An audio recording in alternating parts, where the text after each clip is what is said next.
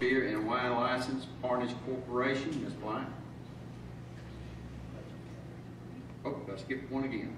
Did it again. Agenda item seven D is the budget calendar for FY 2014-2015. Ms. Blyant. Yes, sir, you have before you um, a proposed budget calendar for the um, coming budget session. Um, This is a guideline throughout that process. These dates are flexible. Just as budget approved by June thirtieth. We have any questions for Ms. Blyant? Mr. Chair, Mr. Chairman, I only have one question on this, partly due to what we encountered this year, uh, how the millage adoption was a, a great deal away from the actual, uh, adoption of the budget.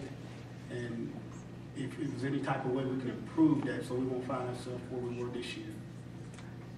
Um, I think you've got to get your budget process completed first and get through, and then you get the information from the tax uh, commissioner's office before you can actually set the mill rate. I, I guess that's what, that's what we found ourselves into with the rollback and everything, you know, just,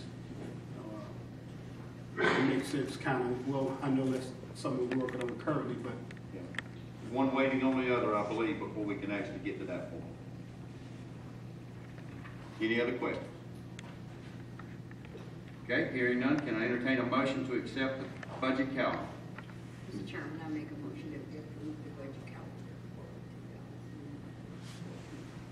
Do we have a motion to approve the calendar? Do we have a second? Second. We have a second. Any other discussion?